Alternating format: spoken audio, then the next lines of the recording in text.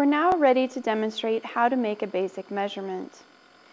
Making a basic measurement is made up of three main parts. The first is to set the environmental conditions appropriate for the material that you'll be measuring. The second is to go ahead and clamp on the leaf and have the leaf adjust to the conditions. And third, we will open a log file and log a data point. So to begin with, we need to set our environmental conditions. If you have a CO2 mixer, we need to turn the mixer on and ask for a particular CO2 concentration. We'll go to menu level 2, F3, where it says mixer off. Go ahead and turn your mixer on by going down and selecting reference CO2, press enter, and then let's enter a good ambient value of 400 micromoles. And you'll see at the bottom of this window, it already defaults to that value. If you would like to keep that value, you can press enter. But if you would like to change it to something else, you can type that in at this point. We're going to start with a reference CO2 of 400, so just press enter. Whenever you use your CO2 mixer, your soda lime should be on full scrub, so go ahead and make sure that that's the case. The next thing we need to do is set our light. If you have installed your red blue light source, we will go and turn our lamp on at this time. And that is also located on menu level 2, and we're going to go to F5 where it says lamp off. Arrow down to where it says quantum flux and press enter. Here we want to enter a good value for whatever your leaf has been used to prior to this point. I am going to be measuring a greenhouse maize that we just removed from the greenhouse and it was seeing bright summer sun. So I'm going to ask for a light value of 2000 micromoles. But go ahead and put in the correct value for your plant material. The next point I want to do is to check what my flow rate is. I'm going to start with a flow rate of 400 micromoles per second. To do that, I'll go to menu level 2, F2, and adjust my flow to 400.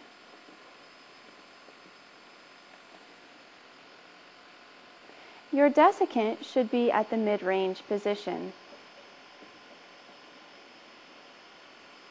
While I'm waiting for my conditions to stabilize, I want to make sure that I have the correct leaf area set in the software. If you will be filling the chamber, then you can make sure that the leaf area is set appropriate for filling the chamber. If you're only filling it a fraction of the chamber, try to estimate how much of the chamber you are filling. If you're not filling the area completely, the leaf can be removed and destructively sampled for leaf area, or there are various optical methods that you can use to determine leaf area. Leaf area is set on menu level 3, F1. And right now with this maize leaf, I am filling the chamber, so I'm going to leave my area set to 6. So I'm ready to clamp on my leaf. And we want to make sure that the leaf is going to be making good contact with the thermocouple. And then go ahead and close your chamber. In addition, we want to check our stomatal ratio, and you'll notice that's also located on menu level 3, and this is F2. Stomatal ratio is a ratio of the number of stomates on one side of the leaf compared to the other side of the leaf. If you're working with a grass, they have equal number of stomates on both sides of the leaf, and so a value of 1 would be appropriate. And because I'm working with maize, I will make sure that that's set to 1. If you are working with a broadleaf, it's possible that there are more stomates on one side of the leaf than the other.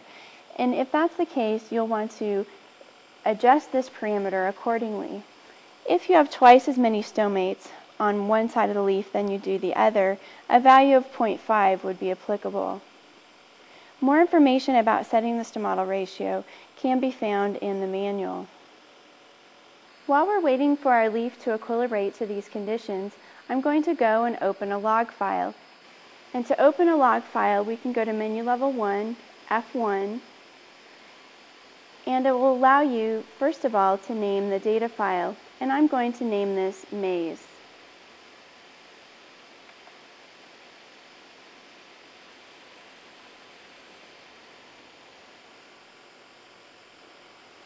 Next, it will ask you to enter a remark. This remark shows up as a separate line in your data file, and the remark can be any characters or numbers and have any number of spaces in it.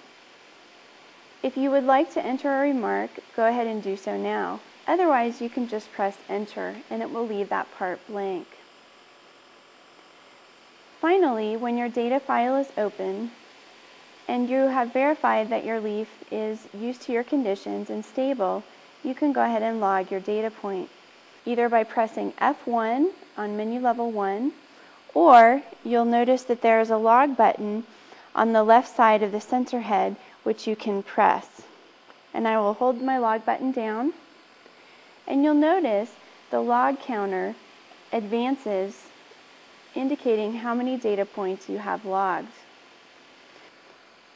Now I can go and view that data point by going to View File, F2. And to view the data, you simply press F3, View Data, and then you have the option of how you would like to look at the data. It's best to choose D for Data Set, and that way it will take all of your data and put it into columns for you. To view your data easily, you can hold the Shift key down while you press the right arrow, and that will move a full screen to the right at a time. And if you press your left arrow, it will scroll a whole screen to the left at one time. Once you've viewed your data point, you can press Escape and escape all the way back to new measurements, and you're ready to move to your next leaf.